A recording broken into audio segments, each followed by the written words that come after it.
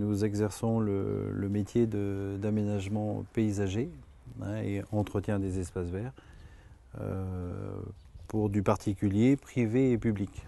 Donc c'est un métier très diversifié hein, qui comprend le contact déjà client, qui est très important, l'écoute du client pour établir des projets. La conception, c'est déjà une implantation du projet, euh, les terrassements, les mises en forme.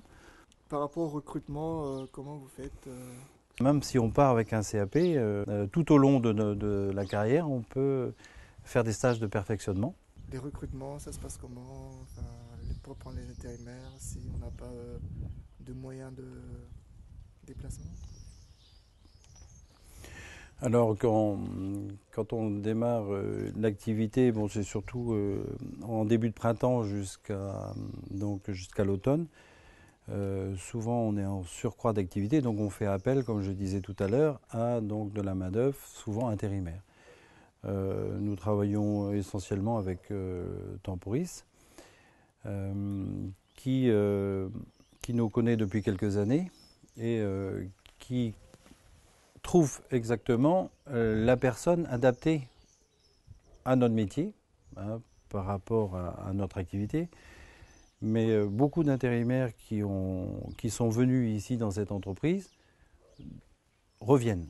Donc, euh, ils sont sélectionnés par rapport au diplôme Oh, ils appellent, ils appellent éventuellement de leur propre gré, hein, de, en, nous demandant est-ce qu'éventuellement vous auriez du boulot. Donc nous on leur dit ben oui, il est possible que la semaine prochaine ou fin de semaine d'après ou, d'ici 15 jours, 3 semaines, on, aura un, euh, donc un poste euh, en surcroît d'activité.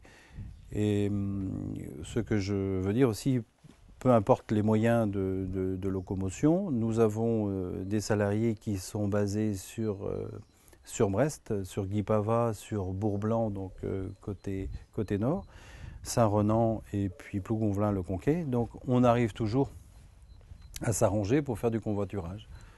Donc euh, l'intérimaire, euh, peu importe, s'organise le premier jour à venir euh, par un moyen qu'il a lui personnellement.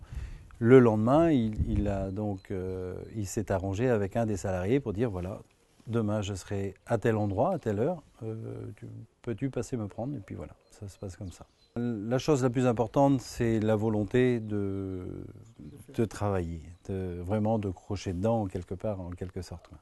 Je réalise euh, donc des devis pour les particuliers, les plans d'aménagement et euh, donc euh, après aussi tout ce qui est gestion de chantier. Quoi. Donc les commandes, les, le suivi du chantier et puis bah, tout ce qui s'ensuit. Quoi.